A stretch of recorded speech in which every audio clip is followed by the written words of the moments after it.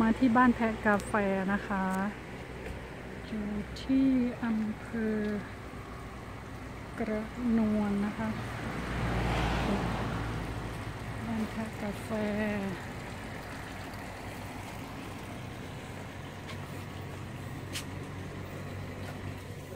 เดินชมสวนสัตว์ชมสวนด้วยมีมีแพะเขาเป็นบ้านแพะกาแฟไงมานี่เมนู เอาไหม่พี่ทุนมา เดี๋ยวหนูเลี้ยงคาปูชิโน่ร้อนคาปูชิโน่ร้อนค่ะ เบเกอรี่ก็มีเบเกอรี่หลากหลายชนิดโอ้ น่าสนใจมาก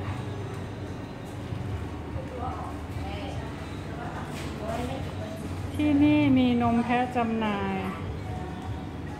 ชมแพะจิบกาแฟโอ้ มีให้อาหารแพะด้วย